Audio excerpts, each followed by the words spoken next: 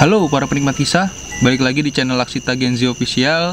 Kali ini kita sudah kedatangan narasumber yang akan menceritakan kisah horornya. Gue Dewa Ambargawe, ini dia kisahnya.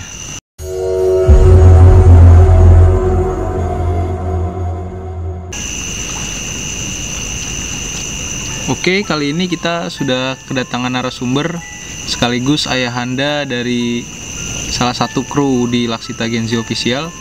Boleh diperkenalkan Pak, namanya Pak? Baik, saya akan memperkenalkan diri nama saya. Nama saya Sugiono, saya lahir tahun 1965, tepatnya di kota proklamator kita dilahirkan, yaitu di kota Blitar. Saya akan menceritakan sedikit tentang cerita mistik pada saat kita bertugas di Lembaga Pendidikan Rindam Jaya Jakarta. Uh, sebelum saya menuju ke materi tentang cerita mistik, uh, sedikit saya akan selipkan riwayat hidup saya ketika saya masuk militer. Oke, boleh Pak langsung dimulai ceritanya? Boleh, boleh.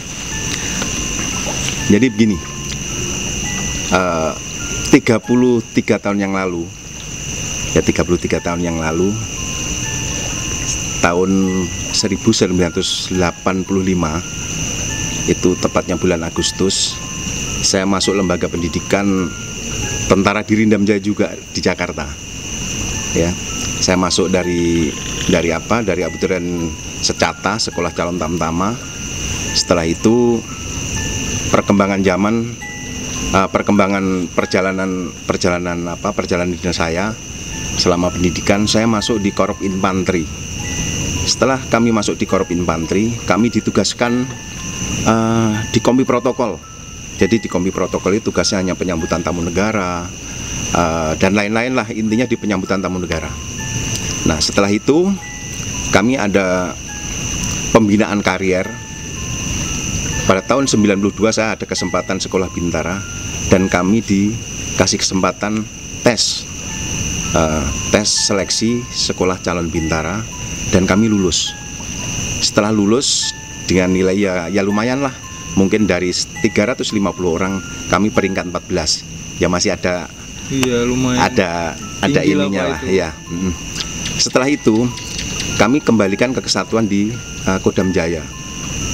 Setelah kami kembali ke Kodam Jaya. Setelah itu kami ada perintah lagi yaitu perintah penugasan pindah kesatuan. Saya dipindah ke Rindam di mana pada saat tahun 85 saya di, di, di, di situ dan saya dikembalikan lagi di situ untuk jadi pelatih. Hmm. Ya, ya jadi pelatih di situ. Saya jadi pelatih jazz. Uh, sebelum kita mem, uh, ditugaskan untuk jadi pelatih jazz, kami harus sekolah dulu di Bandung.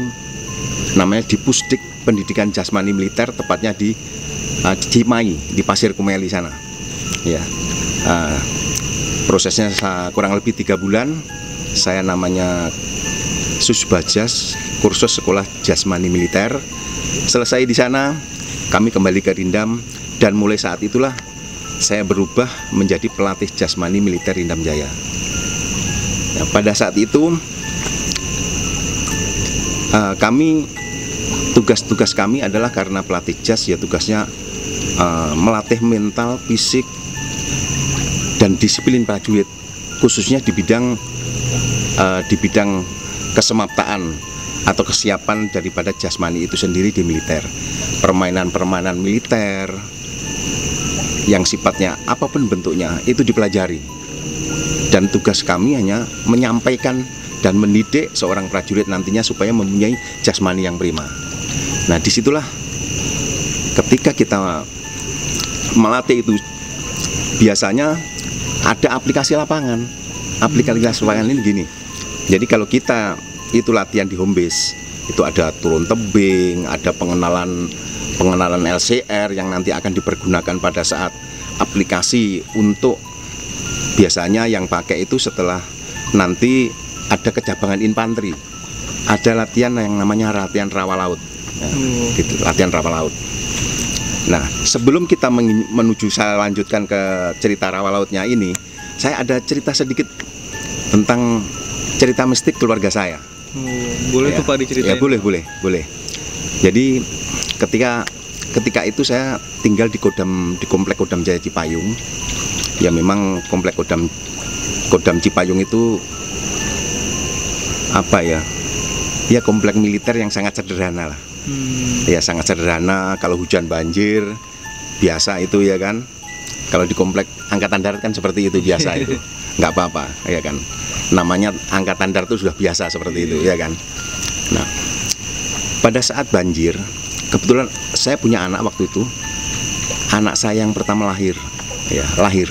Pada saat itu lahirnya di di daerah Kesdam Kesdam Cijantung. Ya, di Kesdam Cijantung itu setelah lahir lahirnya malam waktu itu nah saya bawa pulang lah hari-hari untuk saya bawa ke eh, ke komplek. Setelah saya saya bawa ke kompleks saya cuci air saya buang ke keluar ke belakang rumah. Ya namanya kita kan nggak ngerti namanya ya kita namanya rumah sendiri kita buang-buang aja nggak masalah kan. Namanya itu kan kotoran ya bekas darah.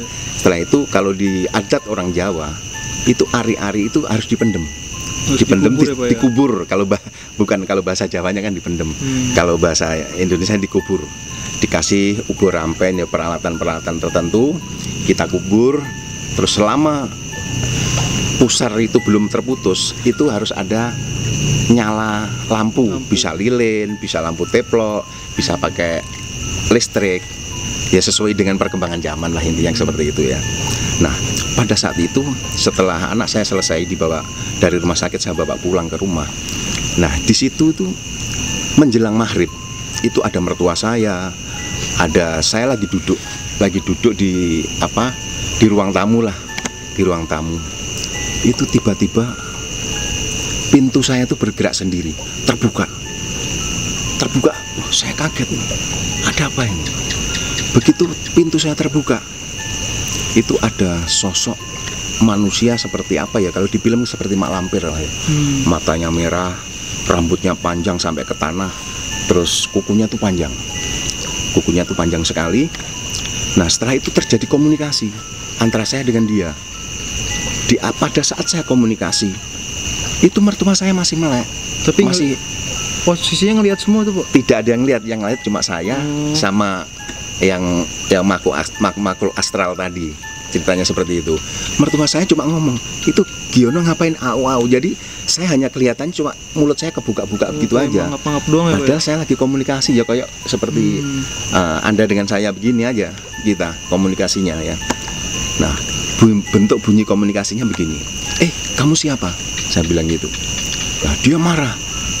Kamu buang sampah sembarangan ya? Bilang. Wah saya ingat ya kemarin saya buang air ari-ari itu kan darah.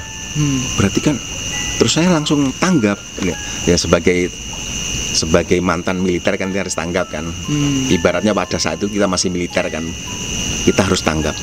Nah saya langsung ngomong loh memang kenapa? Ini kan rumah saya sendiri.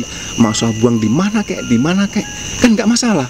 Bilang tuh kamu ngeyel dikasih tahu. Dia marah.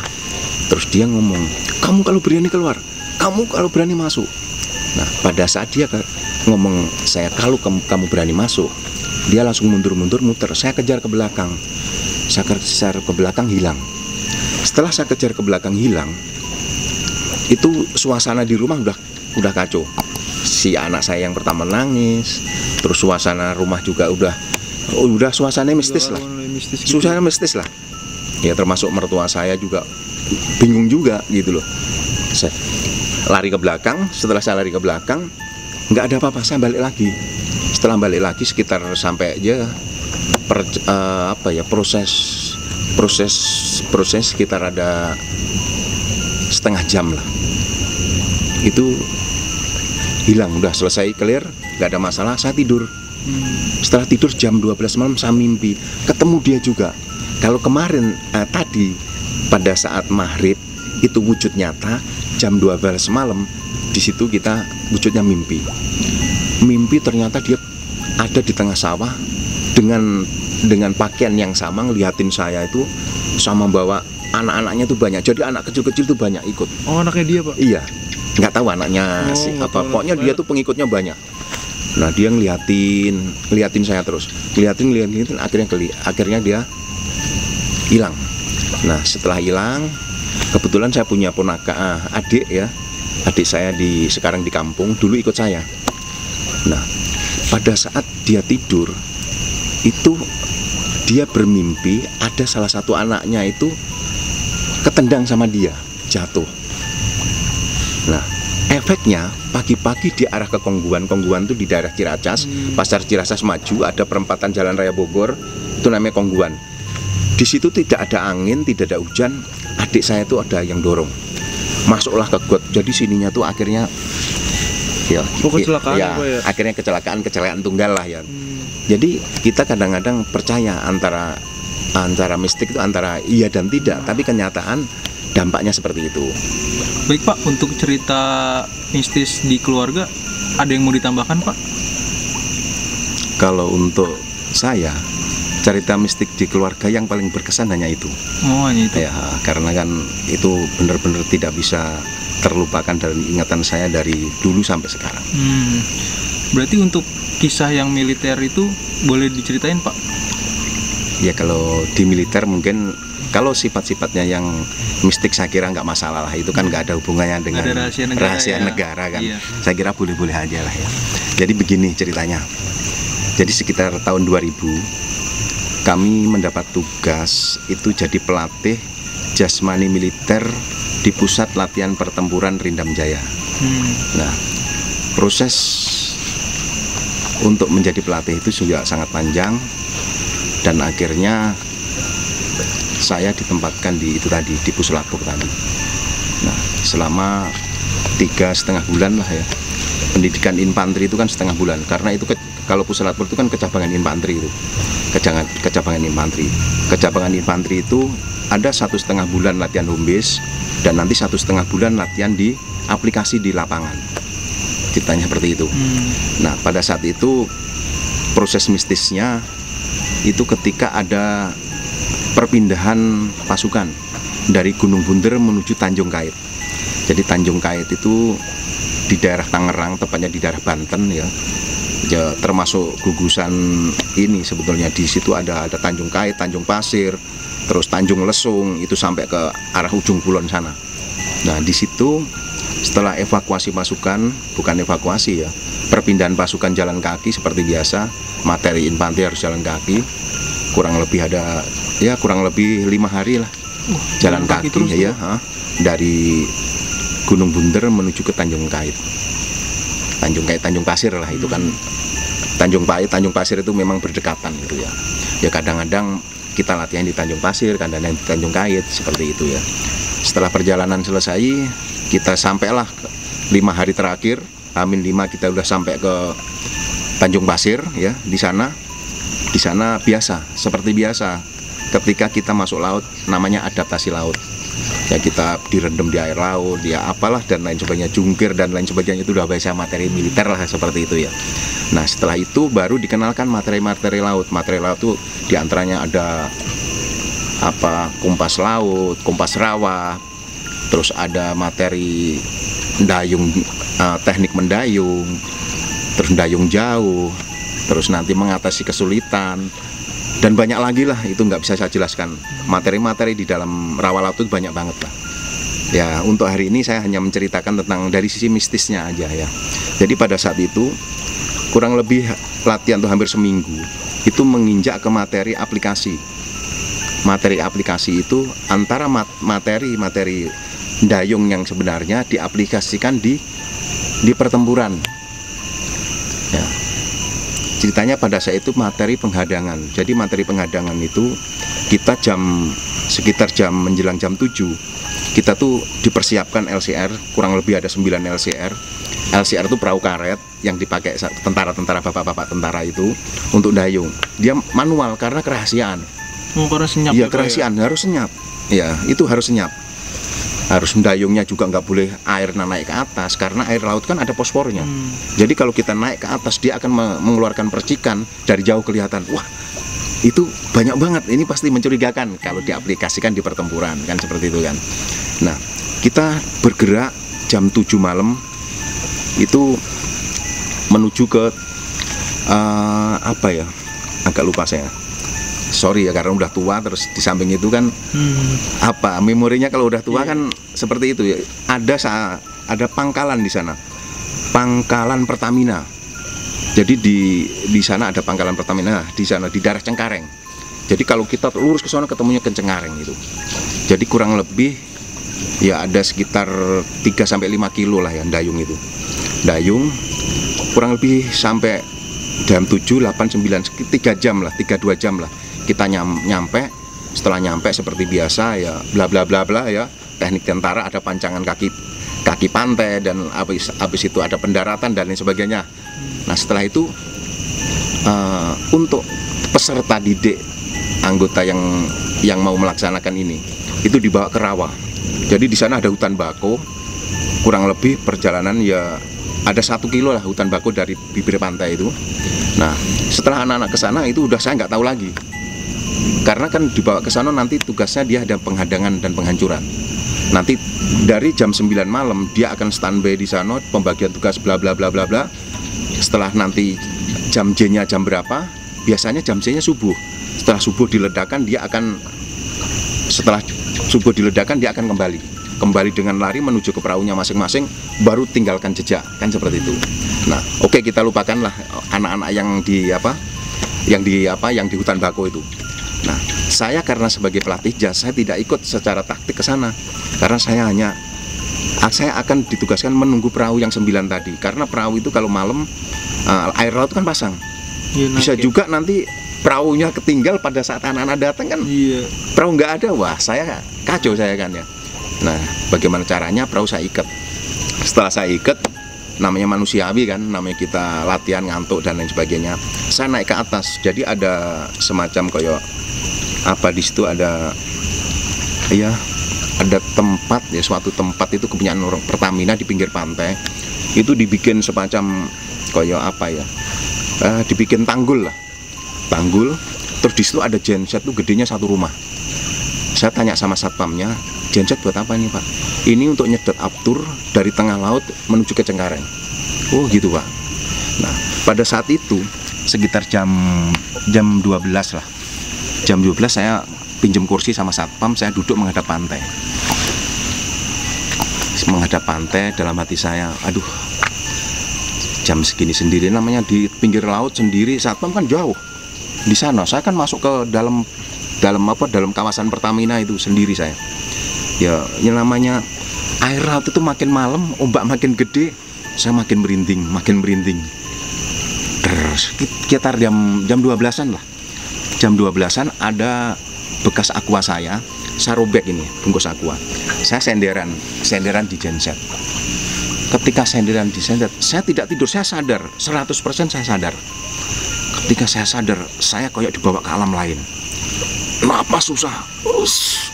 Begitu saya kena kalah saya dibawa ke alam lain. Des. Saya ketemu apa? Tengkorak. Jadi ada tengkorak itu satu nyamperin saya itu bunyi tengkorak itu kalau jalan ternyata saya baru tahu itu kalau tengkorak itu bunyi kelak kelak kelak kelak deketin saya lah saya kan kaget Tapi itu posisinya nggak mimpi pak. Enggak, itu. nyata begini, nyata. Nyata saya sadar gitu loh. Begitu karena saya orang muslim, saya juga auzubillahi minasyaitonirrajim. Tangan saya itu nggak bisa ini. begini. Udah semua yang saya bisa saya saya bunyikan. Ya. Ya namanya tentara kan kita kan harus double double sistem kan gitu. Udah saya auzubillahi minasyaitonirrajim oh, nggak bisa. Lama-lama saya bisa. Tak hajar lehernya itu tengkorak. Pas itu. Keratak-keratak terbang itu. Jadi kunang itu dua. Kunang itu dua jatuh ke tanah. Das. Dia bangun tengkorak jadi dua. Nyerbu saya lagi. Klek klek klek klek klek. Ini nyata ini bener. Saya hajar lagi. Oh itu bilahi minasyaitonirrajim hajar lagi. Keratak dua tadi terbang jadi empat. Hajar lagi terus keratak jadi delapan. Hajar lagi jadi 16 hajar lagi jadi 32 sampai sepertamina itu tengkorak semua. Nyerbu saya kayak pampir itu. Prak prak prak. Wah saya bagaimana ini? Udah bingung saya. Udah akhirnya saya teriak keras. Oh bilang saya itu? Hajar semua tuh hilang. Tengkorak itu hilang nah karena kan saya dibawa alam lain saya udah nggak inget apa apa rasa takut di situ hilang saya. Rasa merinding nggak ada pokoknya udah rasanya berani aja. Udah kayak orang udah perang ada temennya meninggal udah nggak ada rasa takutnya lagi udah nggak ada seperti itu. Nah begitu di, di situ tengkorak hilang nongol prajurit. Prajurit jadi Tentara. orang prajurit kayak prajurit kerajaan itu bawa tongkat. Hmm. bawa itu bawa apa ya? Tombak ya? Bawa tombak. Itu nyerbu saya serbu gitu buset ini tengkorak hilang kok jadinya kok prajurit kerajaan. Saya tangkis begini kan saya namanya pelatih jas kan di samping itu saya juga pelatih bela diri militer saya dirindam. Saya tangkis tuh pak pak pak pak pak pak pak, hilang hilang. Begitu hilang di situ apa yang terjadi? Itu namanya badan saya dari ujung kaki sampai ujung rambut itu berdiri merinding itu udah kayak kayak apa eh, nyawa saya tuh kayak mau terbang gitu wah kok oh begitu saya tengok ke kiri ada penampakan yang nyata persis kayak gambar gambarnya Kanjeng Ratu Kidul yang dipampang-pampang ada yang di orang yang itu di lukisan. Persis tapi hidup ini. Hidup ini. Ini nyata hidup. Pakai baju warna apa pak? Pakainya seperti warna hijau terus namanya kalau orang Jawa kemben ya. Kemben itu sewek kalau orang Jawa. Kalau orang bahasa Indonesianya apa sewek itu ya? Kain lah kain yang dipakai adat Jawa itu itu tuh panjangnya tidak terhingga panjang itu nggak nggak bisa ya? ujungnya nggak kelihatan dalam keadaan saya menggigil ketakutan tadi saya dalam keadaan duduk begini nah dia itu deketin saya kalau dia melang kalau dia senyum penampakan putri itu senyum. Dia senyum. Kalau saya senyum, dia melangkah satu langkah. Kalau uh, dia senyum, saya tidak senyum, dia tidak berani melangkah ke saya, nggak berani deketin saya. Tapi kalau saya ada apa ya, ada respon senyum, dia deketin saya, gitu. Nah, terus akhirnya begitu dekat, dekat, saya senyum, terus saya begitu sudah dekatnya kurang lebih tiga jengkal dari saya, apa ini yang namanya Kanjeng Roro Kidul saya lari bos saya lari saya lari setelah saya lari saya lari keluar menuju ke arah ke arah LCR LCR itu perahu-perahu karet itu ya. Karena kan memang tugas saya untuk mengamankan supaya nanti pada saat dipakai untuk apa untuk pemutusan pertumburan itu clear. Dalam arti tidak ada masalah karena harus persiapkan saat cek dayungnya apa ternyata masih oke lengkap untuk menghindari itu tadi. Setelahnya saya ngecek perahu itu ternyata nggak ada masalah. Tapi setelah itu eh, udah nggak ada gangguan-gangguan gaib lagi pak? Ya alhamdulillah setelah saya menghindar dari dari situasi yang sebenarnya ya. Ini bukan mimpi situasi yang sebenarnya di lapangan di pangkalan Pertamina tadi. Setelah saya sampai perahu itu ternyata udah clear nggak ada gangguan apa apa sama sekali. Alhamdulillah. Ya selesai waktu itu udah nggak ada masalah. Oke pak mungkin ada pesan-pesan yang mau disampaikan untuk para penonton kita? Oke sedikit pesan dari saya yang nanti akan bermanfaat bagi para pemirsa. Untuk pesan saya, siapa pun yang mau menginjak ke hal-hal yang baru, maksud daerah yang baru, apalagi daerah laut, ya utamakanlah yang pertama berdoa.